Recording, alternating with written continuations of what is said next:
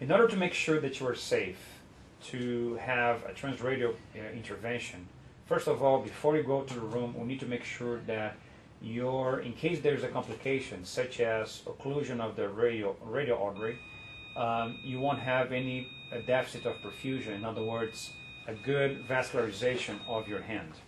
So what we need to do here, first of all, is to have the Barbeau test and the ultrasound evaluation. The Barbeau test involves, we need to compress the radial artery and make sure that the ulnar artery is enough to perfuse to give blood to the whole hand, including the tip of the first finger. So typically, what we have is three arteries going to your hand.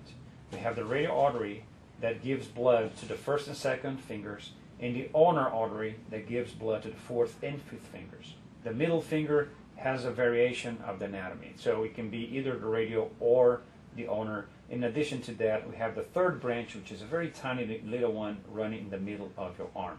But the most important ones for your hand are the radial and the ulnar. In case we have a complication of the ulnar of the radial artery, we want to make sure that the, the ulnar will be enough to perfuse the whole hand. So Barbeau test is the following. Please take a look at the pinkish color of your hands. That's completely normal. And before we start to compress here, we need to make sure that uh, the oximetry pulse detector is, is placed in the first or second fingers. So then we can really analyze the oximetry pulse wave that is coming through the radio or through the ulnar. So what we need to do first of all is to hold pressure in both and now I'm creating an external compression. There's no flow whatsoever. As you can see in the screen there, the oximetry pulse wave is irregular, is flat. The system's trying to pick up. And make a fist for me, please.